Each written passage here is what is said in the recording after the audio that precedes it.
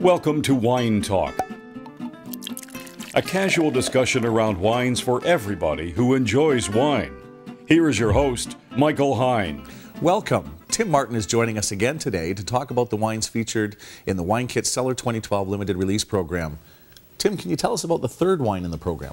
Mike, our third wine is a Pinotage from the Western Cape area of South Africa.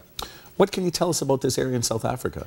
This is a beautiful area of South Africa, Mike. It, the vineyards are surrounded by mountains, including the stunning flat-topped Table Mountains. The area has much of a, a Mediterranean climate because it's so close to the ocean. Uh, the climate itself is very hot and dry, uh, and, and in fact, it goes from November till April because this is in the southern hemisphere. Pinotage is only grown about 6% of the vineyards in South Africa, so it's a very sought after wine because it's in limited supply. Pinotage is an interesting name, Tim. Uh, a lot of people might not know anything about it. Can you tell us more about the grape itself? Pinotage was originally created by a university professor in 1925. He crossed two grapes, a Cinsault and the more commonly known Pinot Noir. This brought together the characteristics of both these grapes. Cinsault is a very hardy, robust grape, and Pinot Noir is very refined. Um, it was largely forgotten about for much of the last century until it was rediscovered in the 1970s. So, what type of characteristics would the Pinotage grape create in a wine?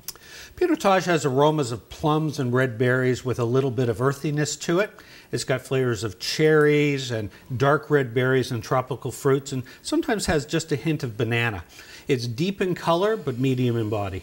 So this sounds like a wine that would do very well with food. Pinotage is great with food or, or can be enjoyed on its own, maybe with a, a piece of your favorite hard cheese. is great with roast turkey, with ratatouille, with a, a beef stew or a braise. And of course, it's great with a leg of lamb, but, but hold the mint sauce. Would you recommend cellaring this wine, Tim?